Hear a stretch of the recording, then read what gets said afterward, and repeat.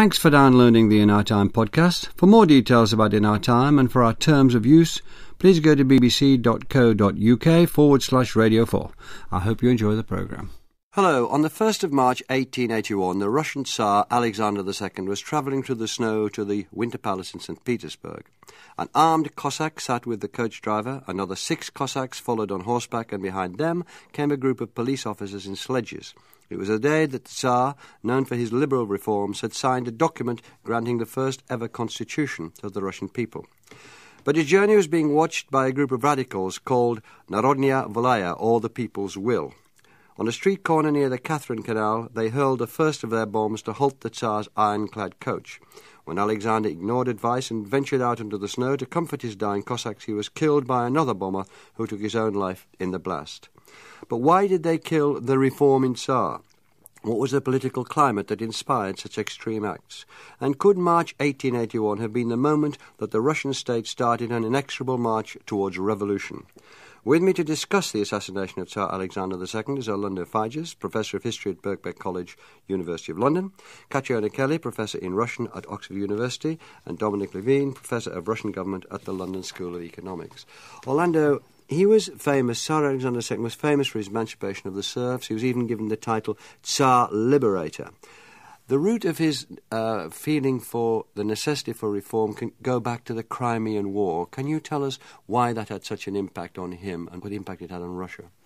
Uh, well, the war was a huge shock for Russia, having gone into it full of optimism that Slavophilism uh, would prevail over Western powers in the crisis of the Middle East, and had the army had been shown up very badly, and um, the the navy had been practically destroyed. And there was a general feeling um, in 1855-56, as the war came to a close, that a modern state was needed. That it couldn't go on being uh, an economy run on the basis of serf labour. That a, a modern army was needed reform of the government was needed. And uh, this had been a sense within the bureaucracy for some time.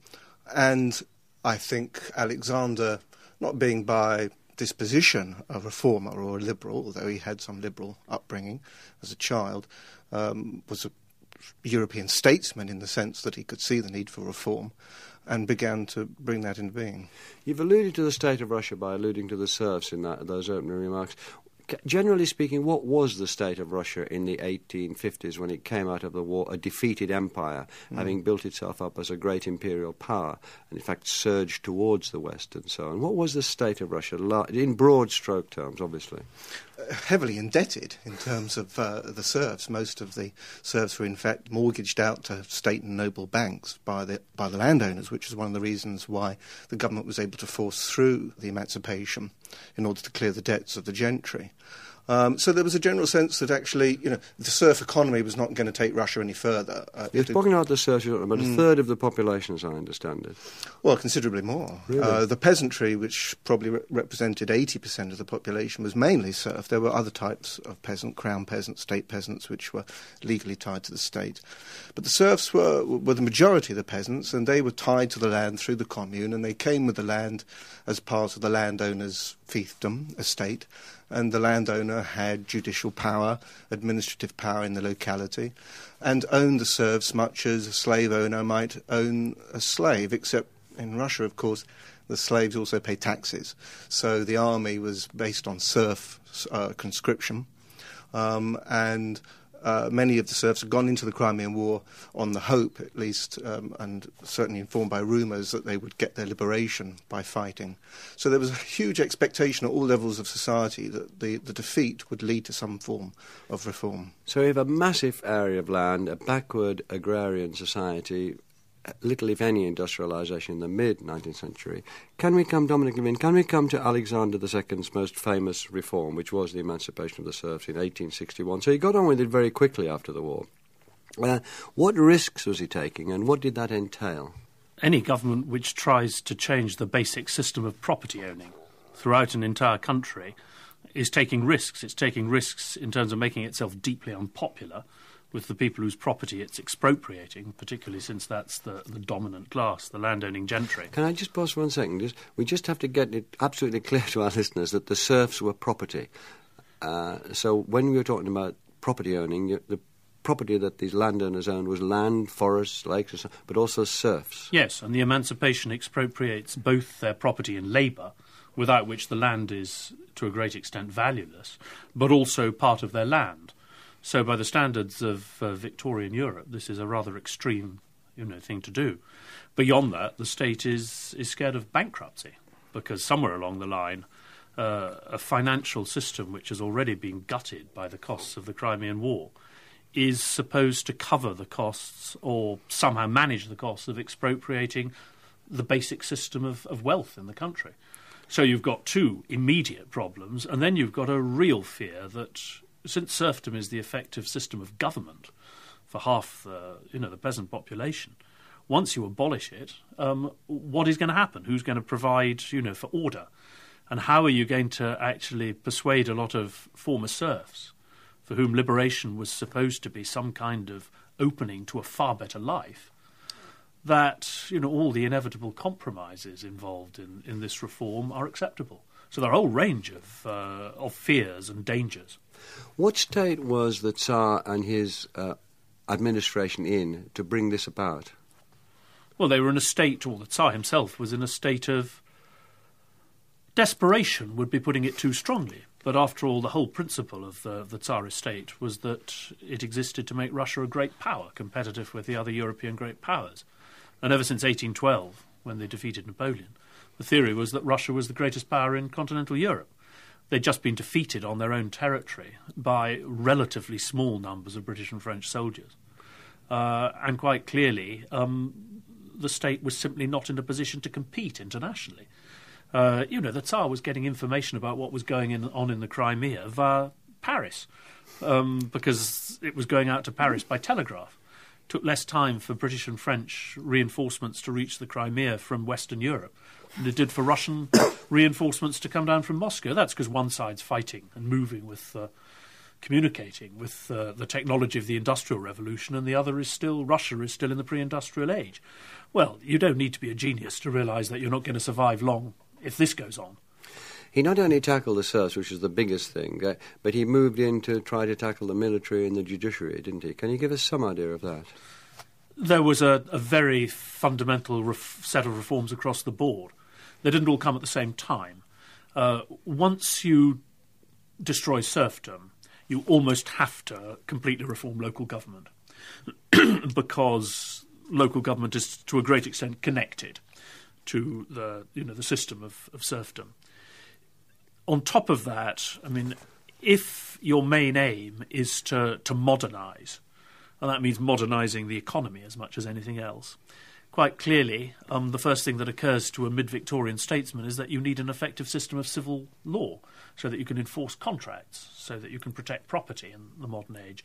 So probably the most radical of all the changes is, in fact, the, the judicial reform of 1864 the main military reform comes later, comes after they've seen Prussia defeat first Austria and then France in 1866 to 71, when it becomes clear that you need a mass conscript army with a, you know, short service uh, soldiers who will then go into a reserve, because the situation in the Crimea, in military terms, was catastrophic.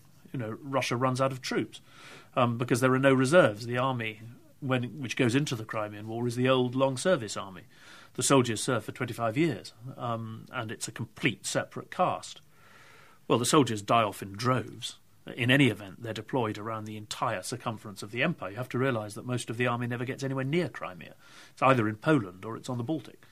Um, so there is an absolute pressing need for military reform, but that itself has dramatic, you know, broader social consequences. Again, setting out the broad uh, scene here, Catriona, before we move on to, to Alexander II more particularly, what effect did these changes that have been raised by Orlando and by Devlin have on Russian society in the short term?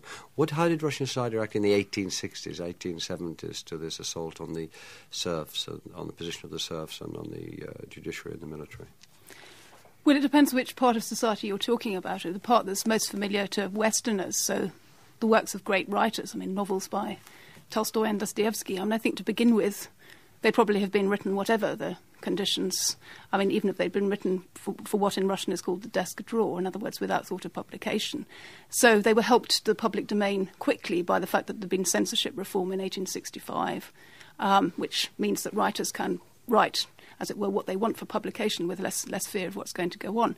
But it has to be said that the majority of great writers at this period actually aren't particularly pro reformist. They're more, more anxious about the way that the reforms are going to affect the society. And one can see that, for example, in Crime and Punishment, which is about how a member of the younger generation has got these terrible ideas about um, the admissibility of murder.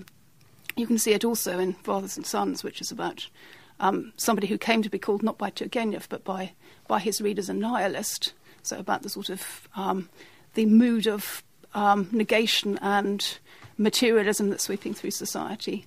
Um, and then there is, of course, a quite strong body of opinion uh, and quite influential opinion that's strongly nationalist. I mean, the sort of the, uh, what one might call at the tail end of the Slavophile movement, so the people who had been um, the first generation of um, what one might call nationalists with a historical um, perspective, so people who looked back to Russia before Peter the Great and saw that as, as, as being the path that Russia should have been on and had, and had deviated from. Um, would it be fair to say then, in the 1860s and early 70s, that, that as a result of the of the fallout from the war and what Alexander was trying to do, uh, and the result of ideas did I, coming in from the West, there was a, a, a great uh, blooming or outburst of new groups, new ideas, various forms of radicalism going through Russia at the time. That's certainly true. I mean, that you can see, for example, in the strength of the feminist movement in Russia at this period. And I mean, there's a connection of of that with the revolutionary movement. I mean, it's not at all a coincidence that some of the most fervent revolutionaries were women, and they were women who'd trained in universities. I mean, not not inside Russia because Russian universities weren't open to women, but who'd gone gone abroad and and, and trained there. Um, and then, I mean, it's also a period when women writers are publishing in large quantities in, in the main literary journals. There's a lot of talk about women's education. People are setting up university level courses for women, for example. Um, and yes, there's a great deal of debate on reform, but not all of it reaches the public domain by any means. Well, Anna Fidus, is there a sort of contradiction growing then at the time between the increasing uh, uh, desire to be to take things from the West uh, to take the best from the West, the, things they didn't like about the West, but to take the best from the West, particularly in ideas, on the one hand, as it were, at the western side of the country almost, and, uh, and the great uh, Slavophile, uh, pre Peter the Great, idealized uh, peasantry, serfdom, which had its own movement growing. Is there, are there contradictions here? Are they fertile, or what's going on? Yeah, yeah there's a chasm, because, as Dominic says, the, the, the main challenge confronting society post 1861 is how to integrate the peasant as a citizen into local government, um, how to recognize the peasant as a fellow Russian. And so um, the sort of literature that Catriona has mentioned is almost obsessed really by the peasant question, the question, the question of how, what is Russia going to be? How are we going the to the soul of Russia? Yeah, the soul of Russia. What, what, what? Who are these peasants? Um, uh, how are we going to uh, find a common nationhood with them? Um, and uh, so, so that, that, that really becomes the central issue uh, for the whole of educated society. And I think there's a sense also that 1861 is the birth of a new society, that this is a new Russia, uh, this negation of the old Russia, of the, of the, of the Russia of serfdom um, is very strong, particularly among among you know youth group students who are coming through the universities, influenced by Western ideas, and confronting the peasant question as as a question of you know who are we going to be as a nation? How are we going to reform ourselves as a society based on ideals of liberty and justice? Um, so that that contradiction, in, in, a sense, the contradiction between Westernism and Slavophilism, is is, has run its course by 1861 because everyone now agrees essentially that yes, Russia has to base itself on Western technology, has to become a modern society. The Crimean War has, has, has consolidated that truth. Uh, but it's going, now going to be a question of how do we marry uh, peasant traditions, how do we marry our native customs, how do we integrate the peasant who's yet to be educated and brought up to the level of Western technology into a society which can be based upon the rule of law um, and universal values. I know it's always it's, it's a fatal question to ask a historian about when anything new began because uh, we trace back several centuries. But nevertheless, could it be proposed as a conversational generalization that in the 1860s there were a new there was a new force of radicalism, a new sorts of people being educated, or in numbers, or in where they came from, and uh, and they were beginning to drive the thinking of, of Russia in a way that, say, the Decembrists hadn't done in the 1820s. I think, firstly, you've got the issue of new ideas and the legitimacy of the old setup, the Nicholas setup, being smashed by the Crimean War. And then, not, I think, immediately in large numbers, but soon after, yes, you do have um, all sorts of new people coming through. you shouldn't also forget the fact that some of these so-called new people are dispossessed sons and daughters of the gentry. Are they are they called the Raznochinski? Raznochinski. That just means people of different um, different social classes, groups. You know, mm. whereas the old Russian setup has has got people typecast in legally defined social estates. So you've got all sorts of people floating around sons of priests, daughters of um, chemists, new sort of middle class, spin offs of bankrupt gentry, all sorts of things. But sh- it's not just the social issue, it's there's a really new intellectual current running through. Linked in part to the expectations which had been raised and then in certain cases not met by the emancipation, and linked also, of course, to the influence of similar ideas passing through Europe at that time. Can we just uh, dwell for a moment on what these people were coming to the cities, uh, as I understand it? They were forming groups. You, you have in the. I'm trying to just get the real context for. So the assassination of Alexander uh, fits into place of uh, a society which. In, in general terms, he has tried to reform radically with the serfs, and as you indicated, with the judiciary and the military, in very substantially. He also looked at the universities. Uh, in some ways, he can't meet meet his own demands because of the inadequacy of his own system. But he's tried to do that, and he's created a force. Uh, would you admit that this is a force that has not been there before? The force might be the number of groups, but it is still an intellectual force for change, agitating. I think the key is that it's a force outside the state system. Um, you know, these people's grandfathers uh, had, if they had had these ideas, worked within the state system. Um, now, as the society is growing and there are a larger number of people who are educated and at the same time they're more footloose because they may not have an income any longer if they're the mm. you know children of the gentry. Um, you, have actually got a more complicated relationship between state and society. Uh, and that is something that you know Alexander is forced to have to come to terms with, and in the end, of course, kills him. Yeah. And it's a generational thing too, isn't it? I mean, that's why again calls it fathers and sons because you do have a conflict really between the liberal men of the 1840s who would be the men of 1864, very you know European in their ambitions for Russia, um, very liberal in their outlook about how you reform provincial Russia, um, and um, a younger generation who've come through the universities who who don't necessarily think in terms of running the estate in the way that their father's generation would have done, who are looking to become involved in the professions or mm-hmm. who are taking up the pen and writing for local newspapers or whatever, and who um, are influenced by radical ideas. Um, and in a way, coming back to a point you were making earlier, a question you were asking earlier about Russia and the West, I think the, this nihilistic strand that's coming through in intellectual terms in the 1860s is something rather foreign to European traditions of radical thought.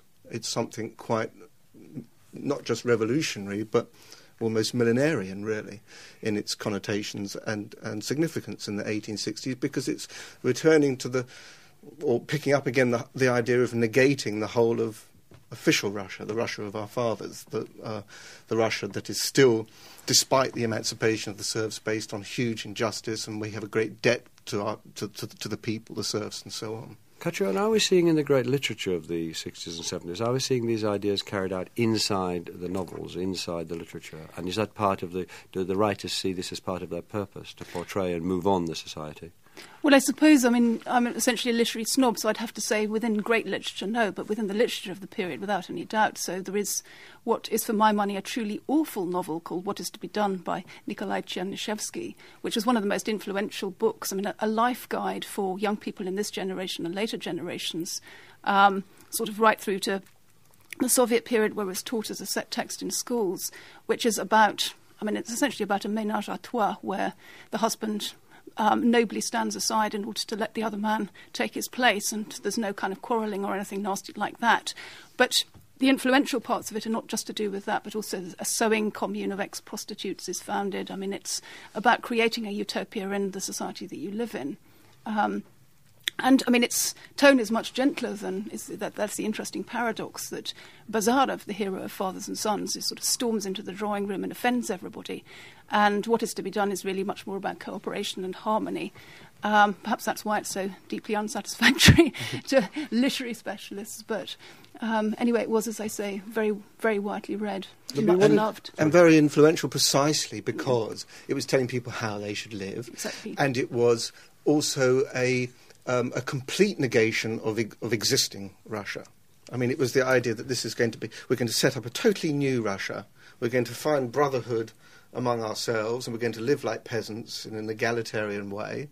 And so this is a, a, a already, you know, Western ideas of, of liberty, equality, and justice have suddenly become a very revolutionary uh, tool in the hands of student uh, uh, and Russian youth. Can we just briefly go to the the, uh, the, the, uh, the very public representation of the, as it were, the West Slav connection, this uh, the to the people movement uh, in the 1870s. Can you tell us what that was and uh, how far it, uh, what its limitations were?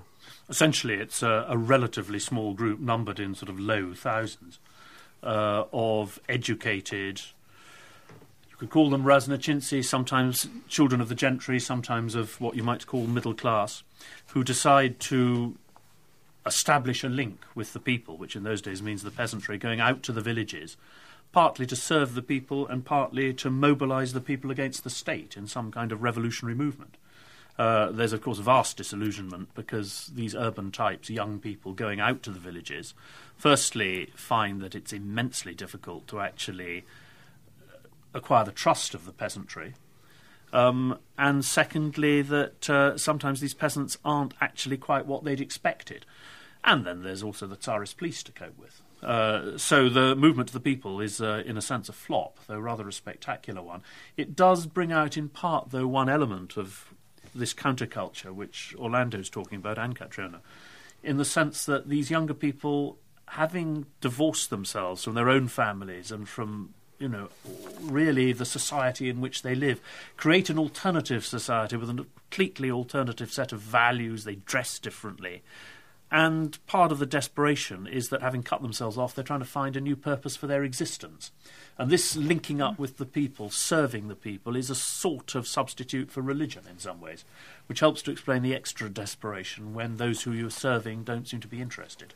Censorship slightly changes, and the uh, 1872 Das Kapital, Marx's Das Kapital, is allowed in and translated, mm. and in terms of that sort of book, uh, enjoys a considerable success in Russia. Do you think that had any impact? Were, were, were well, it obviously had impact on people who read it. Can you tell us what sort of impact it had? It had enormous impact. Um, as you say, it came in by almost by default. The, the censors thought it was such a sort of so academic dull, yeah. book that no one would understand it or take any lessons from it, and so it could quite easily. Although the censors then got wind of it and, and, and punished the, the publisher Nikolai Polyakov by, I think, banning a edition of Diderot or something that he brought out the next year. But um, it had enormous influence, I think, mainly because until that point, uh, Russian radical movements only had a sort of um, uh, uh, homegrown Jacobinism to go on, uh, a nihilism that they constructed themselves. And suddenly they received from Europe uh, the commandments of what it meant to be a proper socialist. And it was scientific. So they, they felt suddenly they had history on their side and they had Europe on their side, and that there was salvation for Russia because it could not anymore avoid the march of capitalism. So that even if the peasants, as Dominic says, uh, were slightly reluctant to join the students in rising up against the Tsar in the going to the people movement, nevertheless, in the long run, social forces would inevitably bring about uh, contradictions in society, leading to the rise of a revolutionary force that could be built on. Um, so, uh, and the impact as a result was just as I mean, we often sort of try to divide as historians the populists from the Marxists and look at two different strands, and I don't think we should do that really, because in fact, Marxism was just as influential on the populists and on the People's Will, which was the assassination group that saw off Alexander II, as it was on on the social democratic or Marxist movement itself. Now we're going to turn to the assassination. Before we do, can I make a, perhaps a last attempt, Catriona, to bring literature to bear on this? You, you, you've said that the only literature that was uh, any of any influence at all was literature sort of way below the salt. Um, nevertheless, in your early remarks, you did mention the appearance of uh, certain radical persons in Dostoevsky, and wasn't Turgenev sympathetic to the radicals as well? Well, I don't think in Fathers and Sons. I mean, I, I mean, I think he's he managed to annoy everybody with that book. I mean, he annoyed conservatives. Yeah, but I, I, I, don't want to push you, but was Turgenev sympathetic? I mean, I want to know what's coming into force at this time.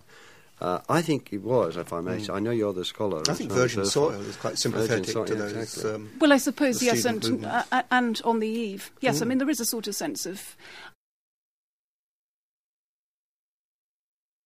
I, I think actually that on the whole, people are writing great writers writing from a relative conservative point of view, and I would include Turgenev in that because. Yeah, but relative conservatism in a, in, in, in, a country that's been cemented in ultra conservatism can be a move towards liberalism. But Dostoevsky it? is more conservative than the state. Hmm. Dostoevsky is more exactly. conservative than the Tsar. Um, but inside Dostoevsky, characters work their way, which can inflame uh, the lives of young persons reading about these characters. Yes, I, I, it works the other way with Dostoevsky. Really? Um, you think yes. people read Dostoevsky and say, "I'll never lift a bomb again"? I think people read Dostoevsky and fear what godlessness will bring Russia to. Do you think 22 year olds do that? A lot of them, yes. At that time? Yes, if they get to read Dostoevsky, yes. Yes, I would disagree with that, actually. Cause I, I, would disagree with both of you, because I think that both Turgenev, uh, although, although a liberal, and Dostoevsky, although in later life a arch reactionary, still harboured sympathy, some sympathy for the idealism of of people who went out, you know, got off their butts, didn't just read books, but went out there and did something to try and help Russia. And I think uh, that you know it, it, gets transposed in perhaps in Dostoevsky's case into sort of uh, sense of religious calling. Uh, I mean, uh, but they, they, but I think Dostoevsky nonetheless would almost equate socialism and Christianity. I think there's a sort of struggle in later Dostoevsky to put those two together. So from that point of view, as well as in the later writings of Turgenev, I think there is a sort of sympathy, which in fact echoes a sympathy in society as a whole. For, I mean, even within the the the, the, uh, the, the administration itself, there are people who still sympathise with, with the revolutionary terrorists because they, they they're seen to be fighting for a good cause. Well, I I think this maybe as an oversimplification, and one has to remember that even some of the terrorists, I mean, um, Sofia Perovska, who after, the, after Alexander II had been blown up, was reduced to floods of tears and saying, Why did we do it? Why did we kill him? It's all right to do it when you blood him up, isn't it? well, you could say that, but I mean, but if he was a terrorist and was part of the blowing up, it's kind of you know crocodile tears. I think what say. I'd say is there was a sort of general messianic feeling in Russian society, a sort of sense that things needed to be changed, which in some Russians led them into revolutionary sympathies, and in Dostoevsky, for example, led him into a belief in Christian reform, which is what we see in Brothers Karamazov. One of the things you've got to note is that yes, Dostoevsky is in certain sense socialist and in a complete sense very conservative and Christian. The one thing that he, as many, many, many, many, many other Russians are, is anti-liberal. Um, mm. And the left and yes. the right are united mm. on that. Mm. Right, let's move to the uh, to this group, the uh, People's Will, um, who assassinated Alexander II. What was particularly distinctive, briefly, about them, Orlando? Um, the commitment to political revolution, I think. The, the, pe- the going to the people movement was essentially a movement for social revolution. In, I- in other words, the idea that the way to reform Russia was by educating the people, uh, using propaganda, and raising their consciousness so that they would organize themselves, and therefore that would be a form of social revolution. Um, whereas, uh, out of frustration, um, in the late 1870s, the People's Will emerged. It was formed in 1879 and was from the very beginning committed to political revolution. It was influenced by earlier Jacobin Russian thinkers like Sergei Nechayev and Pyotr Tkachev, who had both argued for a coup d'etat in Russia. And uh, their executive committee, um, which was a tiny group of about a dozen people, um, uh, demanded from its followers uh, in the major cities of Russia, who amounted to no more than a couple of hundred probably, absolute allegiance to the dictates of the executive committee, that they would be a revolutionary vanguard, and that they would essentially uh, overthrow the state and set up a revolutionary dictatorship as a means to social revolution. And use assassination if they had to. Yeah, the assassination is in fact the, the first point on their agenda. And between 1879 and 81, there are, I think, eight attempts on Alexander's life. It's a naive question, but worth asking, Katronius. Why would they want to assassinate uh, the Tsar, who, the first of the Tsars, had begun to put in reforms, had begun to change society in the general direction, uh, although obviously not as radically as, but in the general direction which they approved? Well, I think the, I mean, my understanding would be that, sort of, as it were, contempt for the reform process and, and, a sort of sense that you can't, you can't work it like that, that you have to fundamentally change, change things and, um, as it were, work, work from the bottom up. I mean, you're talking about a process of reform at the highest levels, and they, that they want um, interaction with, with the, with the po- population, and essentially, above all, as I understand it, land reform. I mean, a land reform on a much broader scale. I mean, essentially, what um, can't be termed nationalisation of land, but um, cessation of the land, make, making over the land to the, to the, people through the village commune. Um, that was certainly the aim of the, the, movement that the People's Will came out of. Uh, um, Dominic, the uh, sorry. Yes, sorry. Did, did, I interrupt you? I did interrupt you. Do you want to finish? No, I just um, added the words land, land and people. That's yes. Dominic, uh, what, so the Alexander II is assassinated. Um, um, in uh, in uh, in 1881. What was the immediate effect of his assassination? Well, the immediate effect was his replacement by his son, Alexander III. And of course, the assassination of his father reinforced the message which had been coming from the sort of conservative ends of the elite, of the bureaucracy, parts of the aristocracy, that this is what happens when you reform. You give people all sorts of ideas, they begin expecting uh, far more radical reforms than the, you know than one could ever hope to provide, and reforms which will blow Russia apart. You do have to remember that Nicholas I's regime was That's one of the most father. Yes, the, the regime of his father, who died in 1855, was one of the most conservative in Europe. Within six years of Nicholas being dead, you've got a small but nevertheless influential element of the educated class calling not just for the overthrow of the monarchy, but also of private property and marriage. Uh, this is a rather radical line to take in Victorian Europe. It's not altogether unlike Gorbachev coming to power in 1985, Soviet Union and international communism being dead six years later. Um, from the conservative perspective, it just proves that in this kind of state and society, if you take the brakes off, all hell gets uh, released. And that is how they interpreted the assassination. So we've had, have the, as it were, from Dominic the conservative reaction, because Alexander, in his reform, seemed to manage to alienate both the reactionaries and the radicals. But what, what was the reaction of reaction of the other radicals to this assassination, Orlando? Um, uh, you, you mean within the revolutionary yeah, movement? Yeah, within that broad yeah. movement. Well, I think the assassination, in a sense, just um, accentuated the dilemma that had confronted the, op- the revolutionary opposition from the beginning, which is do you go through social revolution or do you go through political revolution? Um, and the assassination was a desperate attempt uh, to deal with that problem uh, from the point of view that you know we cannot uh, organize a social revolution while we have this overbearing autocracy uh, uh, uh, stopping our every movement.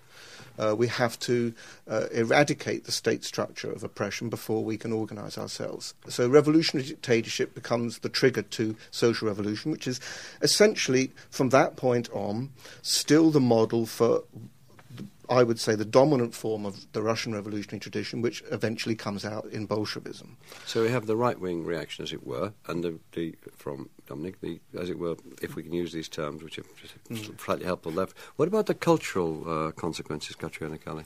Well, it's in terms of the precise figures we were talking about. Um, in regard to the 1860s, 1870s, it's slightly difficult to say because Turgenev died in 1883, so there's not much much time for him left. Dostoevsky in 1881.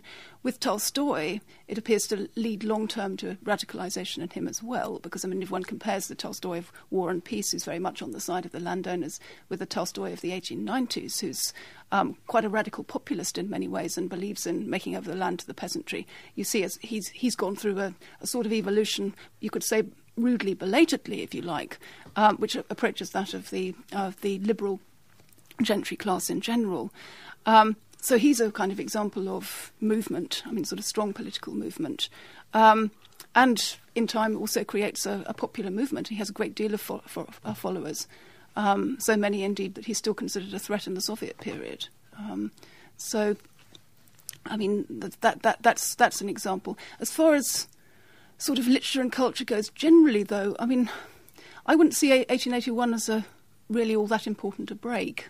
I mean, it's a strange thing, but um, the paradox is that, for example, in the theatre, in 1882, um, Alexander III's government um, ends the monopoly of the imperial theatres in Moscow and St. Petersburg, which had formerly made it very difficult to stage plays outside the imperial theatres. I mean, um, the result is a very vibrant private theatre culture in the late 1880s, um, 1890s, which is far more exciting than anything that had gone on before that.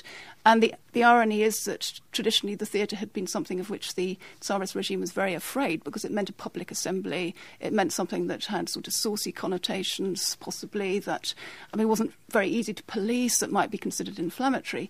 And so it's a very strange thing that you get this apparently very repressive regime which, which makes this, this change. It does, does, doesn't add up, and I think in many ways the cultural situation in, in other respects doesn't add up either. But you still have increased uh, censorship after 1881. And I think you have, as a result, a retreat from what one might call the civic populism of most of the arts and literature in the 1860s and 70s. So you have a retreat from political engagement, I think, in, in most of the arts after the 1880s. Yes, but I mean, on the other hand, they move into a full scale decadent movement by the late 1880s, early 1890s, which is hardly. Mm. One, one could one could say, I mean, in terms of issues of personal autonomy, looks like liberalisation. Yes. Um, if not in issues yes. of sort of social commitment. Do you think, uh, Orlando, that there's any there's a direct line from the assassination of Alexander II in 81 to the Bolsheviks coming uh, to power? Do you think that, it, to put it bluntly, that this was an end of an attempt to reform and the beginning of the necessity, in inverted commas, as they might see it, the radicals for revolution? It was that big a turning point. Well, without wanting to be too deterministic, I'd say yes, probably on on two grounds. Firstly, that as as Dominic says, uh, political reform uh, was now shelved, and neither of the last two Tsars, Alexander III nor Nicholas II, really was a reformist in any sense. Nicholas II obviously made some concessions when he was threatened with losing his throne in 1905, but they were short lived concessions. Um, so the sort of autocratic principle was strengthened, and representative government in forms of the of the Zemstvos and, and municipal government were were rolled back. Um, and I would say yes, also on the grounds that the uh, example of the people's will, Narodnaya Volya, was it was the prototype of the Bolshevik Party, um, and uh, because of the intensification of of autocratic power after 1881, uh, social ref- social revolution was always, I think, on the back foot from that point. Um, yes, Menshevism is in that tradition. Yes, there's neo-populism, which is in that tradition. But essentially, um, uh, when you look at the history of Marxism in Russia, at every point where they have to choose between social revolution or political putschism, they take the political high road. Um, and so the conspiratorial party uh, becomes the, the model of Russian revolutionary organisation leading up right to 1917. Dominic, yes, I don't altogether disagree with that. Um, I think the key in 1881 is that Alexander II, the, the assassinated Tsar, had been persuaded that to stabilise the regime, you needed to win back the support or hold the support of broad sections of educated public opinion. After he's murdered, his son decides that you can crush the revolutionary movement through a more effective police regime. And in the short run, he's right. They succeed. But it does result, longer term, in the regime increasingly losing support in educated society, partly because it stomps on the civil rights of ordinary educated citizens. Having said all of that, I'm not myself a great optimist about the chances of regime uh, and civil society working together to bring 20th century Russia into some liberal or liberal democratic era. Partly, I just think because essentially what one's dealing with in the early 80s is still the politics of notables, of a very narrow section of society, really. The big challenge comes, not just in Russia, but everywhere in Europe, when you get onto mass politics with mass literacy, working class, increasingly educated peasantry. And uh, rather sadly, I mean, the truth is that virtually everywhere in the periphery of Europe, whether you're talking about Spain, Portugal, Italy, Hungary, the Balkans, everywhere, actually liberalism collapses. Uh, and you get various forms of nasty authoritarian regime, either of the right or of the left, usually of the right.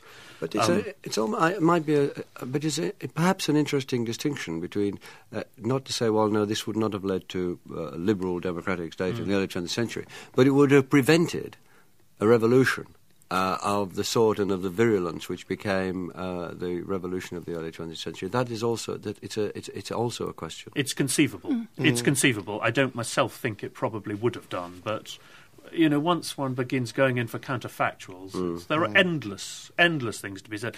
I, look, I agree with Orlando. It seems to me that there is no doubt that uh, what happened in 1881 did stop Alexander II's policy of trying to reconcile the Tsarist state with um, educated society and its more moderate liberal elements. And that, in the long run, certainly contributed to the illegitimacy of the regime and to its collapse. Metternich, uh, Orlando, you know this better now, the Austrian statesman Prince Metternich once said that the most dangerous moment for a state is when it reforms. Mm. You hmm. think that's, that's what we've got here? Absolutely. And I think Alexander is like all Russian reformers in that sense, that he's effectively making it up as he goes along without a real strategy or plan. And he can't stop social processes running ahead of his political reforms uh, so that, uh, in fact, his grip on society loosens as he reforms. And in that sense, he's similar to Stolypin, another great reformer, although um, I think doomed uh, in the 1900s, and indeed Gorbachev, um, who Dominic has already compared Alexander to. This is the problem. How do you reform and stabilize a society on the basis of the rule of law and property, ultimately? Um, in a social crisis where uh, revolutionary forces are constantly kicking against. And in a political system whose entire historical logic is authoritarian and centralist, mm. now you're bringing in Western liberal principles. It's not necessarily very easy to match the two. Final word. And I mean, something we haven't talked about at all, which is the broadening of education. So, on the one hand, you need education because you've got to get workers who are skilled in the factories. On the other hand, education destabilizes the system because then people have got access to all these dangerous books that before you've been able to publish knowing that they'd have an audience of 2,000. Well, thank you very much. Thank you, Catriona Kelly, uh, Dominic Lieven, Orlando Figes, uh, and thank you for listening. Next week, we'll be talking about the mind and body problem. We hope you've enjoyed this Radio 4 podcast. You can find hundreds of other programmes about history, science, and philosophy at bbc.co.uk forward slash Radio 4.